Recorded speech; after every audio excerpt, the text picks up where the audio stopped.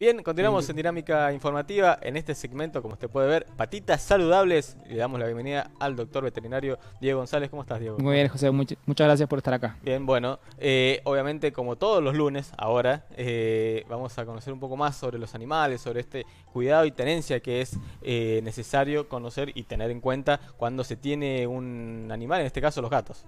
Así es, vamos a hablar un poco de lo que es bienestar animal relacionado a los gatos, ¿sí? Porque como habíamos estado hablando recién, por ahí con los perros se siente más empatía o se conoce más. Pero también surge lo que se llama antropomorfización, que es darle una explicación eh, humana a actitudes de los gatos y pensar que los gatos tienen las mismas necesidades nuestras o de los perros. Y los gatos no son perros chiquitos, ni tampoco son humanos, para eh, pensar que todas esas actitudes, darle una explicación humana y muchas veces nos traen eh, gatitos a la consulta con problemas que surgieron a raíz de esto de, pensar, de que de no tener empatía hacia ellos y no conocer ciertos requisitos que tienen que ver con el bienestar animal. Sí, los gatos son como más raros, más difíciles de, o más eh, complicados de entender, pero es difícil al, a las personas entenderlo o conocer. Sí, a ver, hay mucha gente que le gustan y que ya los conoce, pero yo siempre digo que los gatos son pacientes difíciles para los veterinarios y para, eh, para los dueños, ¿sí? para los tutores, porque, bueno, pasa esto, que muchas veces esconden muchos síntomas, no son tan, eh, tan, difícil, tan fáciles de leer como si por ahí puede ser un perro. Bien pero son maravillosos, solamente que bueno, hay que entenderlos, tener cierta em-, empatía, conocer eh, ciertas de sus actitudes, ¿sí? La gente que conoce de gatos se dan cuenta muy fácil cuando les pasa algo, sobre todo, bueno, la familia que está eh, con el gato todo el tiempo, cuando no está mucho tiempo en la casa, a veces pasa que no, no se dan cuenta o se dan cuenta tarde, pero quien está con el gato más tiempo y lleva años conociéndolos, sí, te, puede decir hasta pequeñas eh, sutilezas del gato que se dan cuenta que no está bien. Bien, bueno, vamos a comenzar entonces. Dale. Con las Bueno, justamente hablábamos de esto. ¿Qué es el bienestar animal o qué es el a qué se considera bienestar en un gato? Bien. Como dice la definición, el bienestar es, el estado este, físico y mental de un individuo, ¿sí?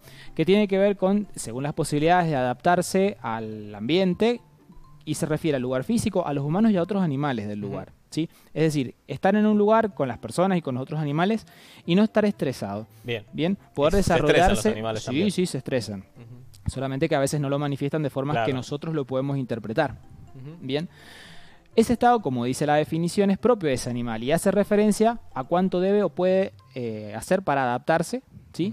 a ese entorno y al grado de de éxito con el que esto sucede. Bien. Bien, vamos leyendo la definición, pero bueno, por ahí es un poco difícil, pero la idea es, eh, ¿qué quiere decir? Que el animal no esté estresado y que esté pasándola bien. Que se sienta cómodo en Que se sienta cómodo, tal cual. ¿Y cómo nos damos cuenta a veces? Porque cuando un gato tiene estrés crónico, como hablábamos la, vez anterior, lo más frecuente que tengan es eh, que tengan problemas de las vías urinarias bajas, que tengan infecciones urinarias, en el caso de los machos se pueden llegar a obstruir porque forman cálculos o tapones en la uretra, en el caso de las hembras tienen cistitis, y esa es la causa más frecuente de, estrés, o la consecuencia, perdón, de estrés más frecuente de los gatos, de estrés crónico. Y el ambiente, donde la casa es un punto fundamental. Sí, el ambiente, ya lo vamos a ver, el ambiente, los animales y personas que conviven en ese ambiente, ¿sí? como hablábamos la semana pasada, los gatos se estresan cuando algo cambia en su entorno y sobre todo cambia y, eh, o, sufren hostilidad, ya sea de otros animales, de otras personas, o la bandeja sanitaria está en un lugar donde ellos no están cómodos para hacer sus necesidades,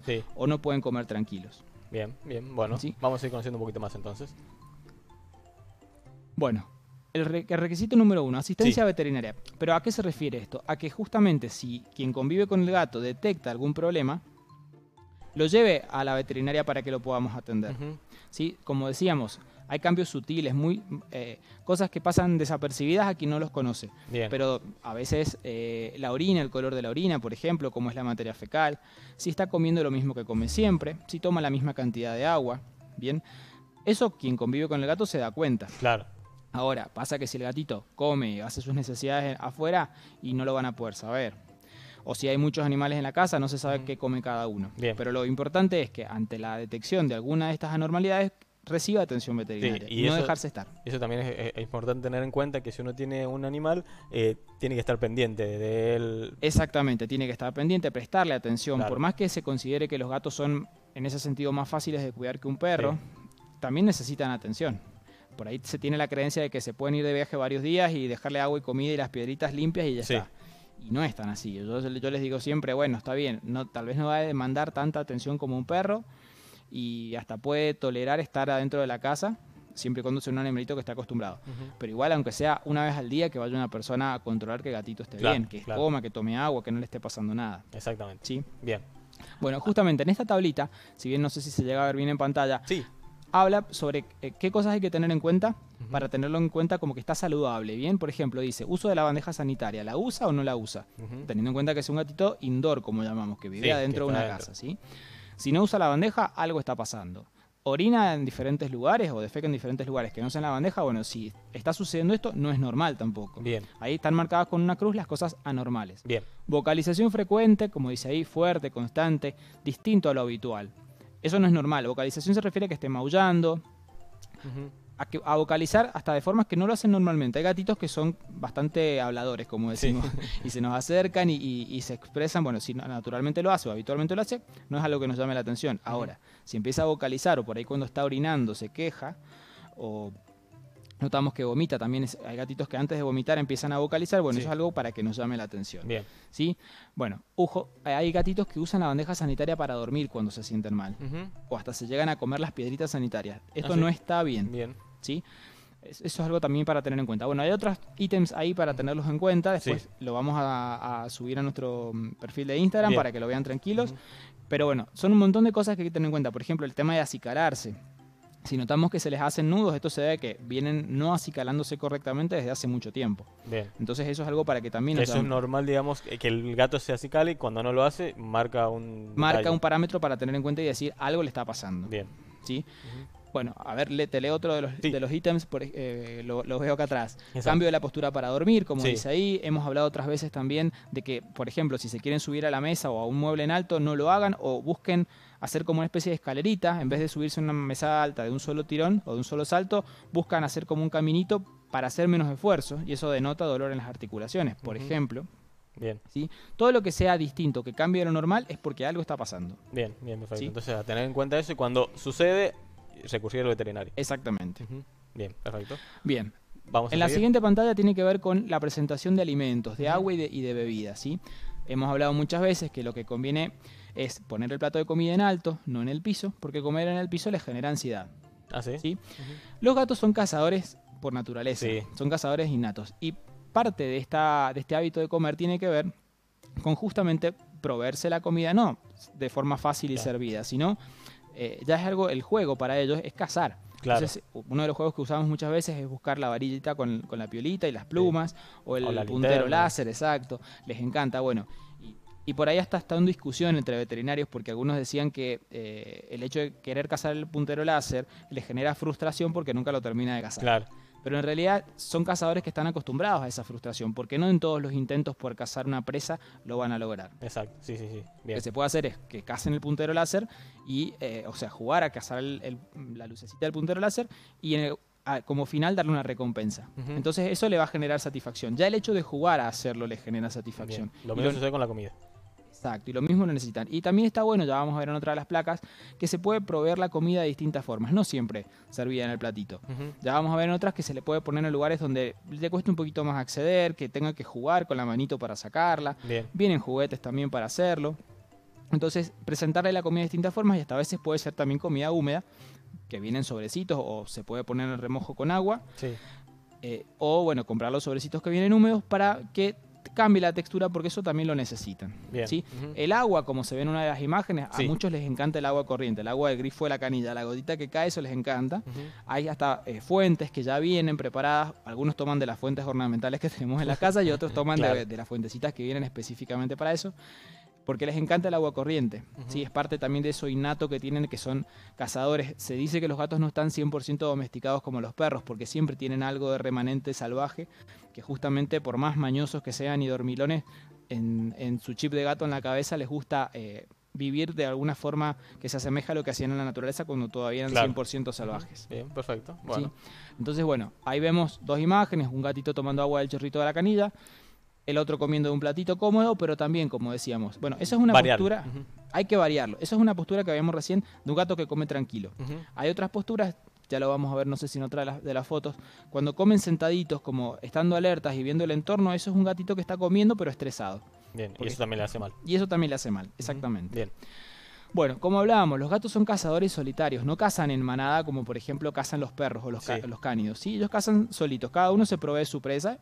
En alguno de esos intentos, la mayoría no, no logran cazarlos, pero necesitan jugar a que, a que cazan. Por eso es que muchas veces sus juegos y terminamos nosotros como presa. Claro. Eh, nos muerden y nos atacan, pero bueno, hay que tratar de, eh, de enseñarle a jugar con otras cosas, no con nuestras manos o, no, con nuestros pies, ¿bien? Como dice ahí, los gatos son cazadores solitarios, ¿bien? Entonces, los juegos tienen que eh, buscar justamente eso, estimular eso, porque, porque les genera satisfacción. Bien, bien. O sea, incentivar el juego. Incentivar ese juego de cazar, pero bueno, no con nuestro cuerpo. Claro. No con nuestras manos, porque a veces veo que los hacen jugar así y después vienen todos arañados y el gato no entiende el límite y quiere jugar de esa forma siempre. Exacto. Bien, bien. Perfecto. Pantalla entonces. Eso es algo para tener en cuenta también. En la siguiente plaquita vemos bueno, como hablábamos, eh, yo me adelanté un poquito, pero y, y spoilé. Pero bueno, la forma de presentar el alimento, como hablábamos, y lo que dice ahí, lo que es el desafío cognitivo, que es no solamente servirles la comida para que de forma fácil coman, sino ponerla en distintos lugares de la casa. Creo que es en la siguiente imagen que se ve eh, algunos este, dispositivos con cosas caseras que podemos tener para sacarlo. Ahí está. Ahí está. por ejemplo, esos son con en la parte interna del cartón de los rollos de, de cosas simples que cosas simples que, lo podemos hacer en todas las casas.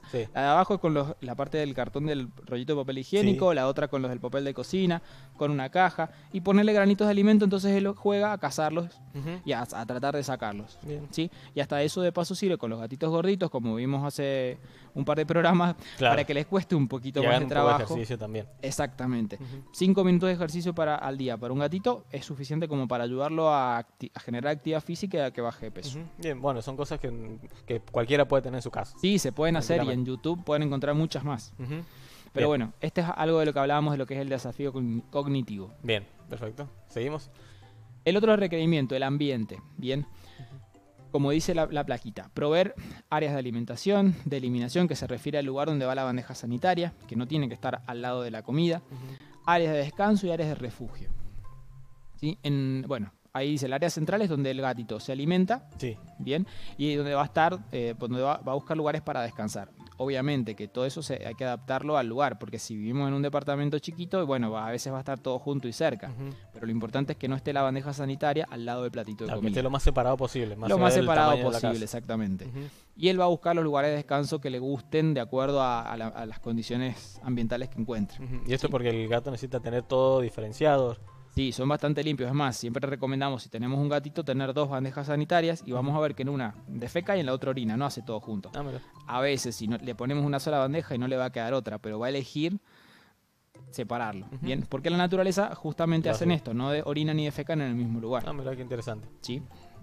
Bueno, y en las áreas periféricas justamente, como dice ahí, van a buscar lo que es el, área para eliminar. Es decir, el área va a ser más central, sí. es el área donde está la comida, Y, y, el descanso, y afuera, en las afueras, hacen sus necesidades, pero también eso sirve en la naturaleza como forma de marcar territorio y decirle a los demás, este es mi lugar. Exacto. Bien. bueno, y también, bueno, eh, justamente al final lo dice la oración, pero lo vemos en otra placa, ellos van a marcar el territorio, no solamente a través de las, de las este, deposiciones, de las deyecciones, sino también lo hacen eh, marcando con las uñas, ah, ¿sí? Porque entre, las, entre los deditos tienen unas glándulas que liberan feromonas que son sustancias que entre ellos pueden olfatear, nosotros no, pero ellos sí, que les avisan a los demás, este es mi territorio. que hay un gato. Hay un gato y también generan marcas visuales, arañando, rasguñando, ¿sí? Y lo, también lo marcan a través de las feromonas que tienen en las glándulas de la cara. Bien. Ahí está, justamente. Tenemos lo que se llama marcaje facial, sí. sí. que es el que se le llama amistoso vincular. Cuando los gatitos se nos refriegan con su cara, en nuestras piernas, o en nuestras manos, o en la cara misma, nos están marcando. ¿Sí? Es algo amistoso, pero a su vez nos están marcando como propiedad, como diciendo vos sos mío. Son muy territoriales. Sí, son territoriales, tienen su forma de... son posesivos, tienen su forma de marcarnos. El marcaje con uñas es un marcaje un poquito más de pertenencia o posesivo, como decíamos, o hasta evitativo también, para decirle a los otros, no te pases de este límite. Obviamente que después vienen, de ahí vienen los conflictos también, porque por ahí cuando viven vivimos en barrios y viene el gato del vecino y empiezan a marcar territorio, hasta lo hacen también a través de la orina, bueno, vienen los problemas con los vecinos. Bien. Pero bueno, son formas de que los gatos marcan el territorio. Claro, claro, claro, pero son habituales de los gatos. Son habituales, por ahí se cree que se afilan las uñas, en realidad no se afilan las uñas, están marcando el ah, territorio. Sí, sí, sí, lo, normal. Ese es uno de los conflictos que tenemos en nuestras casas porque marcan los muebles, los sillones y bueno, arruinan un par de muebles. las piernas también de uno. Y las piernas también, sí. Bueno, ahí vemos en este esquema, en esta fotito, sería lo ideal, pero bueno, no todos tenemos esta casa con estos espacios, pero es, un ejemplo. Por ejemplo, la zona donde está el, el rectángulo verde es lo que se le llama zona de eliminación, donde estarían las bandejas sanitarias de forma ideal. Es en la periferia, como hablábamos recién. La zona donde está el círculo rojo es lo que sería la zona de alimentación, serían los lugares ideales. Este, en, este caso hay dos gatos, para que eh, hubiesen platos de comida. ¿sí?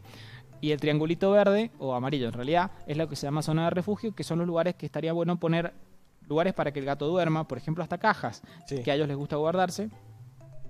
O, bueno, eh, estanterías o repisas en alto para que ellos estén tranquilos ahí. Bien, bien, bien. ¿Sí? Ese es un esquema a modo Sí, como para diferenciar algunos Exactamente, para que se vea que no todo tiene que estar todo junto.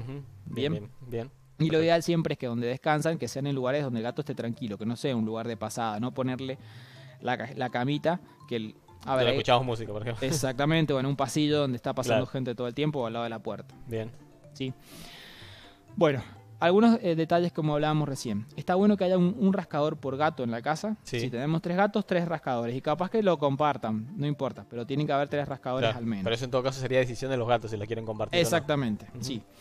Cuando generalmente eh, llevamos un gatito a la casa y luego llevamos otro, lo ideal es que eh, esa diferencia de edad no sea de más de un año. Cuando ya hay más diferencia de edad les cuesta más adaptarse. Algunos van a convivir pero no van a tener una buena relación y otros sí. Eso, bueno, es algo que, que se genera que no se puede predecir. Bien, bien, bien. Algunos no llegan a congeniar nunca y otros se hacen amigos. ¿Y cómo te das cuenta? Bueno, comen del mismo plato, duermen juntos, se acicalan, se bañan entre ellos. Eso es un signo de fraternidad y significa que se llevan bien. bien. Otros no hacen nada de eso, cada uno duerme por separado y bueno, ahí te das cuenta que se toleran porque no les queda otra. Bueno, ya vamos a con las preguntas porque nos, van a preguntar con respecto a esto, así que ya lo vamos a ver más adelante. Otra de las cosas que hablábamos, las cajas de cartón. A los gatos les encantan las cajas de cartón.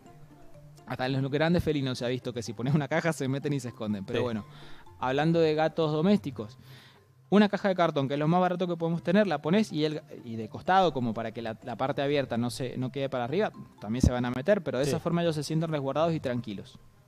¿Bien? Bien. Bueno, como se ve ahí en las, imágenes, sí. Hay, este, varias imágenes.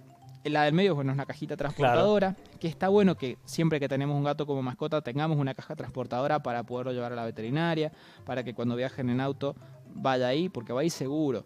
Viajar con un gatito suelto adentro del auto es un peligro, no solo para el gato, sino también para nosotros, porque ha pasado que se asustan y se tiran arriba de la persona que va manejando o se meten debajo de los pedales del auto y generan un accidente. Claro, bien. Entonces, y que esa cajita transportadora sea parte de su entorno normal, o sea, como está ahí. Claro, que no le tenga miedo cuando Que no le tenga miedo, la dejamos abierta, el gato feliz porque duerme adentro, le ponemos una mantita, es parte de, su casa y cuando vaya, tiene que ir a la veterinaria, vaya adentro y ya es algo familiar y conocido. Bien, bien, bien, bien. ¿Sí? Pero bueno, como hablamos, cajas de cartón en la casa, en algún par, un par de lugares, en lugares más tranquilos, no en las pasadas, y el gato va a ser feliz también. Bien, perfecto. Seguimos. Sí. Y como hablaba ese, ese ítem, que era el ítem número 4, le sirve para protegerse de situaciones donde ellos se sientan estresados. ¿sí? Si viene otra persona, por ahí hay gente que nos pasa que tenemos algún conocido que entra a nuestra casa y es de hablar fuerte y a eso a los gatos no les gusta. Bueno, el gato se va a ir, se va a esconder, se va a sentir tranquilo y no, no va a estar estresado. Bien. Bien. O si viene otra mascota también. ¿sí? Eh, y bueno, como hablábamos justamente, esto de brindarle eh, seguridad y que se sienta tranquilo ante determinadas maniobras, como puede ser ir a la veterinaria, ¿sí?